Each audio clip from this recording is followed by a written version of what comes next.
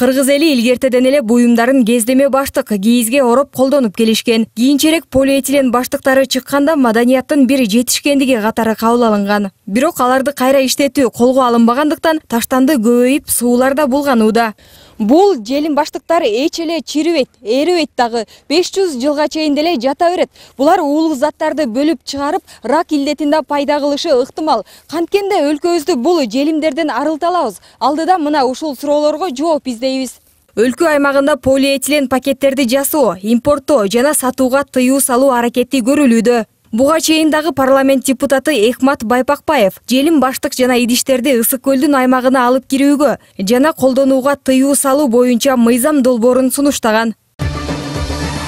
Ысык көлдү таштандылардан тазалоо керек. Полиэтилен баштыкчаларга жана желим бөтөлкөлөргө тыюу салуу зарыл.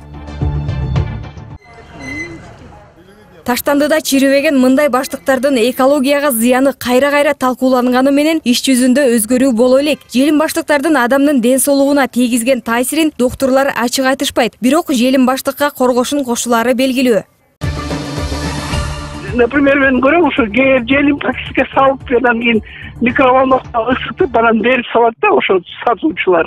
Это вообще вредно. Бүт ошо ысыганда высокий температура болгондо бүт ошол уулуу заттар чыгабыз да эки миң он бешинчи жылдан баштап бишкектеги дүкөндөрдө эко баштыктар пайда болгон.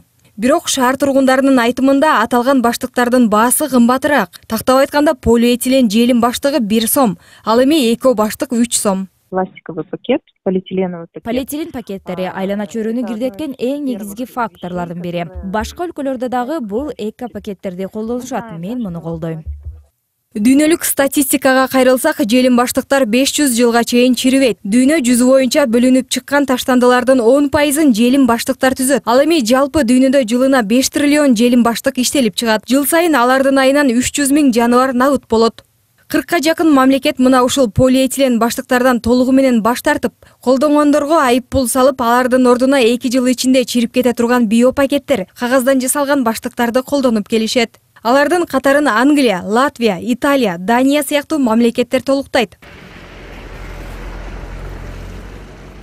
Ал эми кыргызстанда азырынча бийлик өкүлдөрү желим баштыктарды колдонууга тыюу салуу боюнча маселени карап көрүүнү сунуштаганы менен бул демилге канчалык деңгээлде иш жүзүнө ашаары белгисиз. Аяна байтемирова арслан дукуев ош бирим жаңылыктары